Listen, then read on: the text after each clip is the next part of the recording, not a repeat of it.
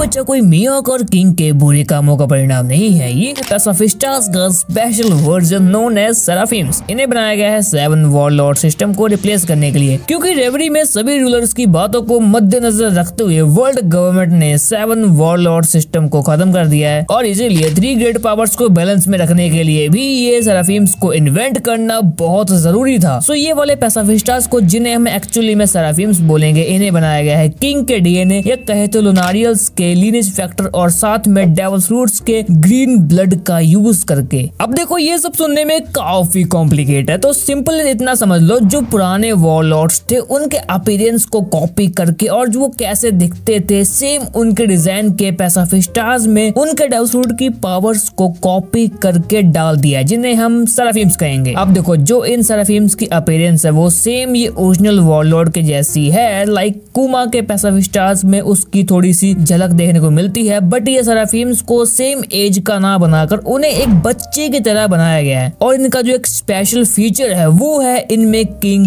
का डीएनए यानी जो लुनारियल्स होते हैं, उनके लीनेज फैक्टर को भी डाला गया है, जिससे इनकी भी ब्राउन स्किन व्हाइट हेयर और ब्लैक विंग्स और किंग की तरह पीछे बैक पे आग जलती रहती है, जिससे इनकी ड्यूरेबिलिटी एक नेक्स्ट लेवल पे हो जाती है। और ये भी कम था की वेगापंक ने इनमें डेवल फ्रूट्स की पावर भी डाल दी, जिससे ये ओरिजिनल वॉलॉर्ड की तरह एक्ट कर पाए। अब देखो, जैसे बोआ हैंकोक के पास उसका वो मेरो मेरो नोमी डेवल फ्रूट है, जिससे वो किसी को भी स्टोन में कन्वर्ट कर सकती है। तो यही सेम प्रॉपर्टी के साथ ये बोआ हैंकोक का सारा फीम भी काम करेगा। अब आप लोग कहोगे मीहोक के पास तो कोई डेवल फ्रूट है ही नहीं। तो उसके ये सराफिम के पास ये स्लैशिंग पावर्स कैसे आई? तो आंसर यार बहुत सिंपल है। इसमें यूज़ किया है डैस बोन्स का सुपा सुपा नोमी फ्रूट जिससे ये मीहोक के जैसे पावर्स यूज़ कर पाए। क्योंकि डैस बोन का जो फ्रूट है, वो एक तरह से slashing powers like Mihawk grant करता है। और ये एक परफेक्ट मैच भी था मीहॉक के सराफीम के लिए। तो फ़िलहाल के लिए हमारे पास बो हैंकोक का सराफीम है, एक मीहॉक का भी है कोमा का भी है जिम्बे का भी है डफलमिंगो गैकोमोरिया और साथ ही में क्रोकोडाइल का भी है। बट अभी तक सिर्फ़ बोआ मीहॉक कुमा और जिम्बे का सराफीम को ही कायदे से दिखाया गया और इसीलिए अभी इस टॉपिक पे प्रॉपर बात करना आप सभी को मिस इन्फॉर्मेशन डिलीवर करना होगा। सो मैं किसी और वीडियो में ये सभी सराफीम्स और इनकी पावर्स को कवर करूँगा, जिससे आप सभी को इनके बारे में बेहतर समझ आ सके। सो नाउ वन पीस के वर्ल्ड में ऐसे साइबॉक भी आ चुके हैं, जो काफ़ी इनक्रेडिबल पावर होल्ड करते हैं। आप समझ लो, एक नॉर्मल पैसाफिस्टा को और एक वॉरलॉर्ड को उसकी पावर के साथ और साथ ही में किंग की पावर्स को मिलाकर एक ऐसे पैसा सिस्टम को क्रिएट करना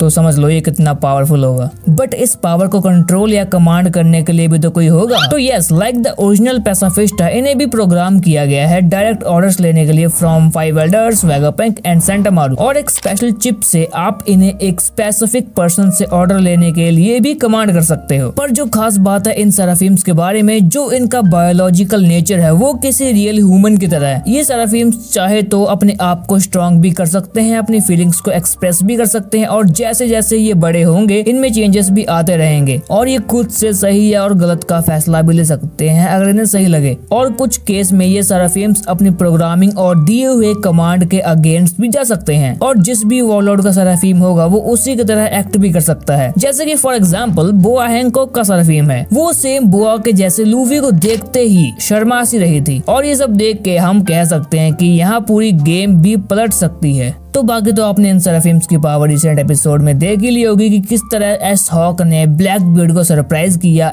जो एक योंग को एक एम्पर है। तो यहाँ से आप सभी अंदाज़ा लगा लो कि ये सारा फिल्म्स कितने पावरफुल होंगे और लाइक जब इनका एक्चुअल यूज़ होने लगेगा इन द वन पीस तो क्या ही बवाल मचेगा। तो फ़िलहाल के लिए अभी तो हमारे पास सभी सराफीम्स के बारे में पूरी इन्फॉर्मेशन नहीं है बट जितनी भी इन्फॉर्मेशन थी वो मैंने आपको इस वीडियो में बता दी, और जो भी थोड़ी बहुत बची होगी वो मैं आपको नेक्स्ट वीडियो में बता दूँगा, जिसके अंदर मैं सभी सराफिम्स को कवर करूँगा। सो आई होप कि आप सभी को ये वीडियो काफ़ी अच्छा लगा होगा तो प्लीज़ कर दो वीडियो को लाइक और सब्सक्राइब और मिलते हैं जल्दी नेक्स्ट वीडियो में, तब तक के लिए गुड बाय जय हिंद, वंदे मातरम।